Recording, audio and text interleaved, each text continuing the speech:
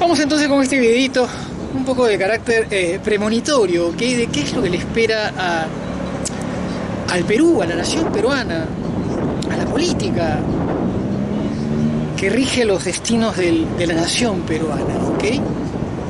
Lo que va a suceder es lo siguiente, y, discúlpeme que, caiga en el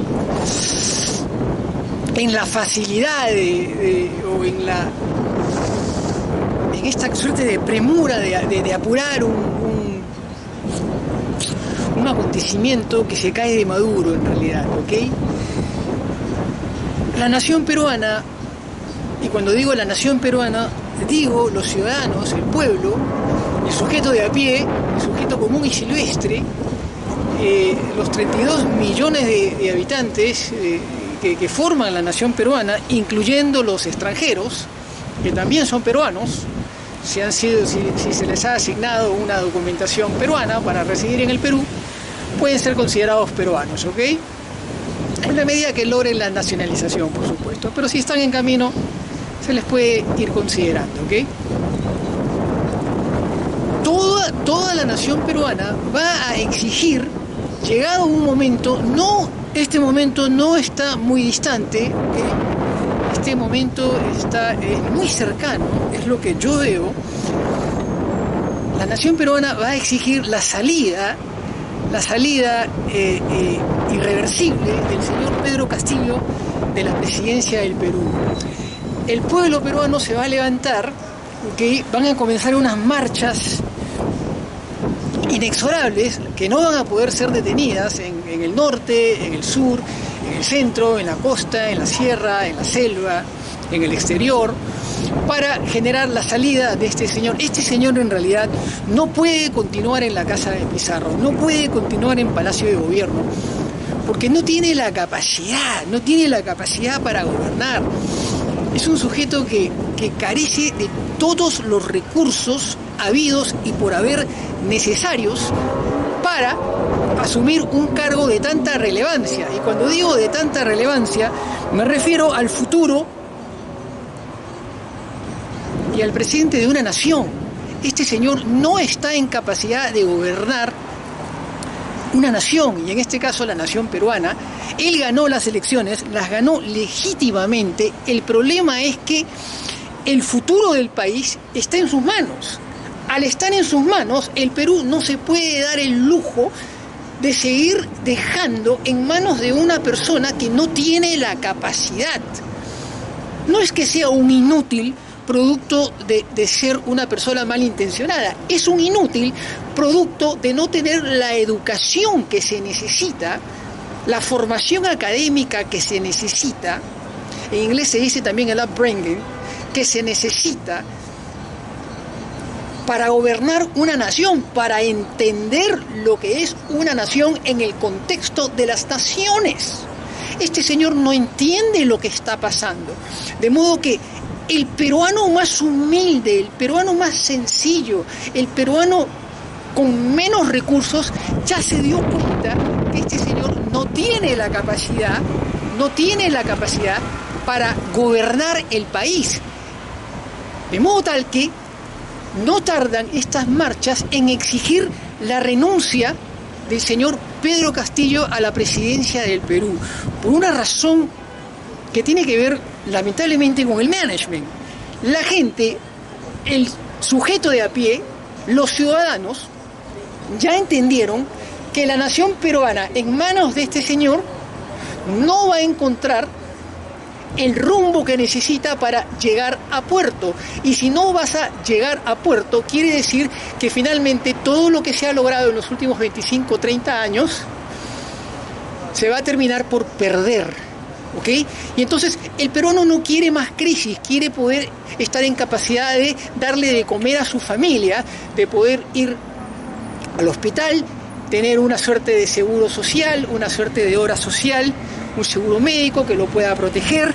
El peruano quiere poder estar en capacidad de vivir en una, en una comunidad, en una sociedad libre de delincuencia y cosas por el estilo. Eso es un poco utópico, por supuesto, decirlo y mencionarlo, pero son los objetivos, los objetivos que tiene todo ciudadano de todo país, ¿ok? Entonces, el peruano ya se dio cuenta que este señor es una persona que no está en capacidad de gobernar el país. De modo que, ¿qué es lo que se viene? Se vienen unas marchas, unas marchas de protesta exigiendo la salida de este señor. ¿ok? Del, del Palacio de Gobierno. Se viene un congreso, un congreso muy agresivo, muy virulento, que va a buscar todos los recursos legales para sacarlo de la casa de Pizarro, del Palacio de Gobierno, ¿ok? Se viene un ejecutivo que va a empezar a cuidarse las espaldas, buscar de alguna manera ensanchar sus arcas financieras, cobrar lo máximo que puedan y tomarse el palo y esconderse y retirarse completamente del escenario una vez que han recogido cierto dinero. En realidad esta gente ya no tendría que estar sosteniendo el gobierno de Pedro Castillo. Esta gente ya tendría que estar de alguna manera solidarizándose, solidarizándose con la salida de este señor. Ahora bien, ¿cuál es el problema? Se presentan dos problemas. La persona que asumiría sería la señora Dina Boluarte. Esta señora tampoco tiene la capacidad, no tiene, por supuesto, la incapacidad, la inutilidad que tiene el señor Castillo, tiene mejor formación académica, tiene un entendimiento mucho más eh, apropiado, apropiado sería la palabra, ¿ok? Para gobernar el país, sin embargo, tampoco da la talla, no da la talla porque tampoco entiende lo que está pasando a nivel internacional, no entiende lo que es el Perú dentro del contexto internacional, no entiende lo que es el, circuito doméstico, menos aún el circuito internacional. ¿okay? Entonces, esta señora también, por más que asuma el Congreso peruano y la nación peruana va a buscar destituirla, se va a llamar a nuevas elecciones. Al llamarse a nuevas elecciones se presenta un nuevo problema, producto de esta muy mala experiencia de la que todos somos responsables, todos los peruanos somos responsables de la incapacidad del señor Castillo. El señor Castillo no es un mal tipo. Vamos, tampoco es un buen tipo. Sabe perfectamente de todo lo las circunstancias corruptas que han acontecido en Palacio. Sin embargo, en líneas generales yo no veo un, monstruo, ¿ok? Como tampoco ustedes ven un monstruo. Vamos, vamos, coincidamos en esto, no, no, no es un monstruo, ¿ok? Sin embargo, sin embargo, todos somos responsables de la incapacidad de este señor, porque no le hemos dado a lo largo de la historia del Perú, no hemos provisto de la educación que se necesita para llegar a cumplir una función pública, más aún la presidencia del Perú. Si, algo yo erijo, si algo yo de alguna manera levanto, es mi formación académica, independientemente de venir de un circuito familiar donde siempre, siempre se nos ha inculcado el tema de la educación. Si algo yo señalo en mi vida particular, en mi formación académica. Eso me genera la culpa que tengo, ¿ok? De que el pueblo peruano no tenga ese acceso. Y al no tener ese acceso, tenemos lo que tenemos en este momento en la casa de Pizarro, en el Palacio de Gobierno. Un inútil, una persona incapaz que no puede continuar en el sillón de Pizarro, no puede continuar, no puede continuar no puede continuar porque es un peligro para la nación peruana y en términos de management está, está interrumpiendo el crecimiento fluido y oxigenado del Perú como nación en el contexto de las naciones. Este señor tiene que retirarse, tiene que renunciar o el Congreso tiene que encontrar la vía para destituirlo.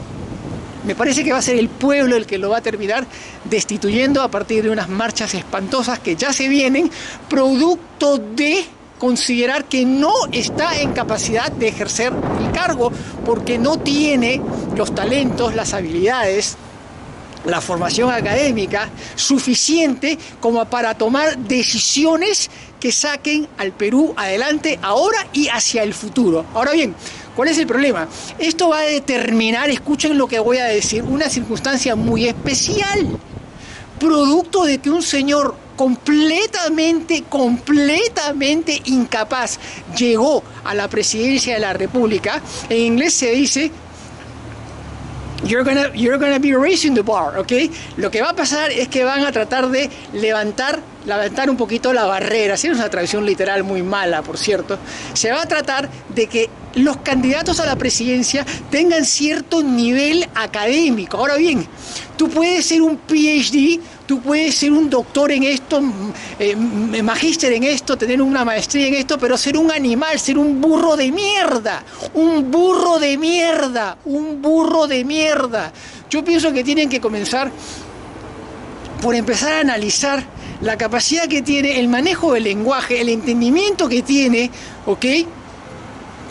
De todos los acontecimientos internacionales, tienen que empezar a observar los constructos teóricos de las personas que se presentan a la presidencia, qué cosa es lo que entienden por lo que es una comunidad, por lo que es la sociedad, por lo que es defensa nacional, por lo que es la producción, por lo que es el intercambio de productos, por lo que son las relaciones internacionales. Todo lo que tiene que ver con gobernar una nación, hay que tener un entendimiento de lo que es Torretale, cuál es la función de Torretale. Todo eso es muy importante. No se puede llegar a la presidencia de la República sin tener conocimiento de estas cosas. Y después están los temas técnicos. Los temas técnicos los resuelven los técnicos, pero la persona que pelee por la presidencia tiene que ser una persona que tenga un entendimiento de estas cosas, que los hay, los hay, hay, dos o tres que más o menos entienden de estas cosas.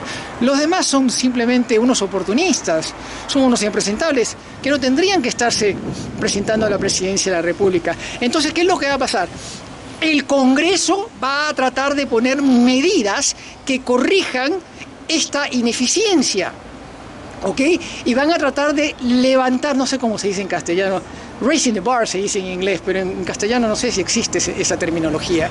Pero van a tratar de levantar los requisitos, ¿eh? ahí está bien, los requisitos para llegar a la presidencia de la República y se van a cometer muchos errores porque en realidad eso es antidemocrático, antidemocrático, de modo que se va a tratar de corregir la constitución y esto va a dar pie a que en realidad todos los que quieren llamar a una asamblea constituyente encuentren un recurso más para tener asidero para llamar a una asamblea constituyente, donde se va a tratar y se va a tocar este tema específico de cuáles son las cualidades que debe tener el presidente de la República elegido, cuáles son las capacidades, las habilidades que debe tener este presidente elegido, si es que fuera elegido, porque ya no se puede permitir, el Perú ya no va a permitir nunca más que un señor como Pedro Castillo llegue a la presidencia de la República siendo completamente un inútil, un incapaz, una persona que solamente conoce del management de su chacrita. Así que se viene una protesta popular, una protesta popular que no se va a detener hasta sacar a Pedro Castillo de la presidencia. Número uno, se viene un Congreso virulento, virulento, muy virulento, que va a buscar las medidas legales para sacarlo lo más pronto posible. Se vienen unas Fuerzas Armadas que le van a dar la espalda a Pedro Castillo. Acuérdense de mí, le van a empezar a dar la espalda. ¿Ok? Y se viene un Congreso, además, que va a buscar legislar en términos de promover nuevos requisitos para el próximo presidente, para las próximas elecciones. A Dina Boluarte se la van a, se la van a tumbar en 24 36 horas, 48 horas. No la van a dejar, no la van a dejar gobernar, con, toda seguridad, con toda seguridad. No la van a dejar gobernar, se va a llamar a nuevas elecciones, pero estas nuevas elecciones van a tener una modificación en la Constitución donde se va a tratar de levantar los requisitos, raising the bar, para llegar a la presidencia de la República. Esto se viene muy pronto, yo lo calculo entre los próximos 3, 4, 5, 6 meses. No creo que el pueblo permita que este señor siga gobernando el país. Yo sinceramente de todo corazón lo dudo. Lo dudo de todo corazón, de todo corazón. Sin embargo, el Mar de Grau, presente, arriba, siempre arriba. José Quiñones. Yo soy Miguel. Ya regreso con otro video. Chao, chao.